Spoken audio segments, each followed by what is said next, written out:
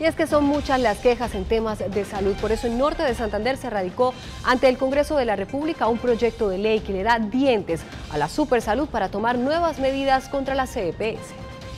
El proyecto de ley incluye acciones que no estaban anteriormente. Algunas multas cambian y otras buscan multar a los gerentes y administradores. La máxima que tenemos hoy es de 2.500 salarios mínimos legales mensuales vigentes. Vamos a pasar hasta 8.000.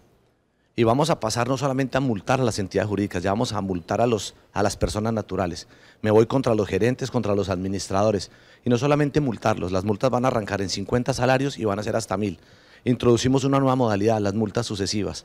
Cuando nosotros rindamos una instrucción que no es monetaria, que no es pecuniaria, que no es económica y no me la cumplen, viene la primera sanción.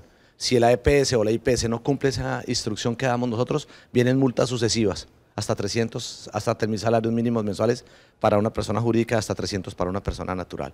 También se inhabilitaría a los gerentes de las EPS o IPS por 15 años si se les comprueba responsabilidad en hechos de corrupción o de mala prestación del servicio de salud. Y una cosa muy buena, Pilar, que va a ser buenísima para el país, cuando demostremos que un gerente, que un revisor fiscal cometieron dolo, que cometieron un delito, que no usaron bien los recursos de la salud, los vamos a remover y los vamos a inhabilitar por 15 años para que no vuelvan a pisar una entidad de salud ni pública ni privada. En los primeros 90 días, la Supersalud sancionó a 16 EPS. Algunas están con medidas especiales de vigilancia e incluso algunas podrían salir del país.